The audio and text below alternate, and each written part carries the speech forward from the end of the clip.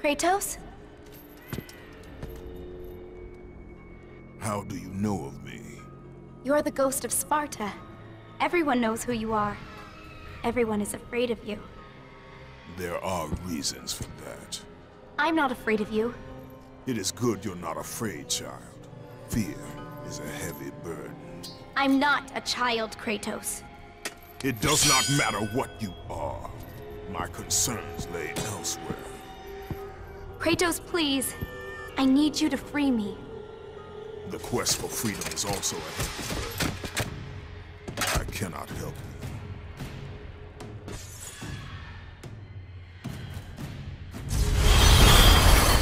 You have regained the Blade of Olympus.